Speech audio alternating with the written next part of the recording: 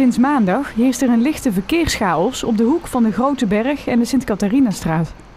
Door wegwerkzaamheden aan het kruispunt Mecklenburg-Mauritstraat-Willem de Zwijgerstraat is er geen enkel verkeer meer mogelijk. Ondanks de verbods- en omleidingsborden probeerden veel automobilisten dinsdagochtend toch het kruispunt over te steken. Zonder resultaat, want het hele kruispunt is dicht. De eerste lagen asfalt van de Mauritstraat zijn al verwijderd. De gemeente legt nieuwe bestrating en asfalt aan en vervangt meteen de fundering. Daarnaast worden ook de verkeerslichten, een gedeelte van het riool en de lichtmasten vervangen. De werkzaamheden maken deel uit van de herinrichting van de Mecklenburgstraat en de Mauritstraat, waarmee al in augustus is begonnen.